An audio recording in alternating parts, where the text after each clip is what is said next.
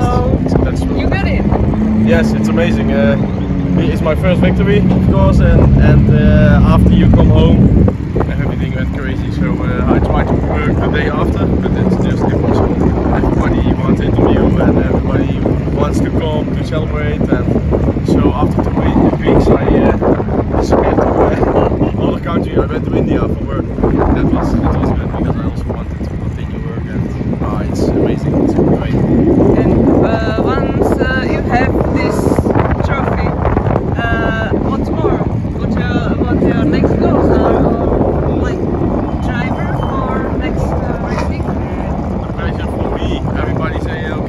pressure is higher because you already won.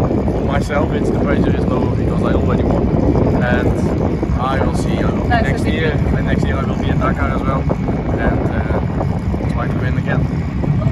You will keep crossing fingers. Yes. Uh, and uh, how did the story of your racing uh, become actually? We did the cross, cross um, when I was young.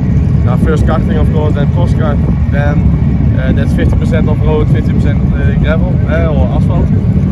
Um, then I bought a buggy in 2000 uh, SSV in 2013. It was on this rally. We are now 110 SSVs, Can-Ams, and but tha- at that time there were only four. There were only four uh, buggies. So uh, that that was the start, and this is my ninth uh, Morocco Desert Challenge, ninth or tenth Morocco Desert Challenge. Yes. Uh, yeah. So that's that's my oh, and, and then I bought in 2015 my own truck. It was enough. I did two two uh, two Morocco Desert Challenge, and then uh, I started with Renault from uh, Mario Kress, Mario Kerr. I did this rally uh, twice. I did uh, Dakar twice, but didn't finish. And then I go to Tiburon. Very nice. Uh, if you compare Desert Challenge, which uh, looks to be quite favorite for you, uh, to Dakar, what would you say? I'd say Dakar is like work, and uh, Challenge is me more familiar. Uh, it's more like a holiday, and I also treat it as a holiday. So Uh, in terms of the sport and the in terms result? of uh, this this this uh, no the result, I always want to win, of course. But when it's not possible like this year, I broke my engine. So fine.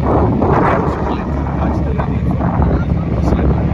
But uh, yes, technical problems stopped you from racing this year.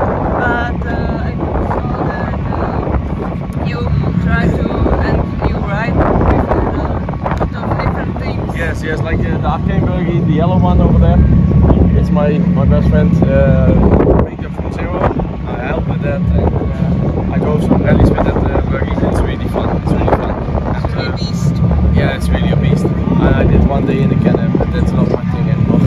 No? No, no, You do not like that? no, it's not. Not, too- not so fast. Okay, so you need to be fast. Yeah, I, I like the shifting, like the Arcane. It's uh, just uh, wah, wah, and the, the, the Can-Am doesn't have a gearbox. I know, yes. Uh, and, you know, we are from Czech Republic. Uh, we have a lot of rally and uh, track fans. If you were about to send them some greetings, uh, what would you say?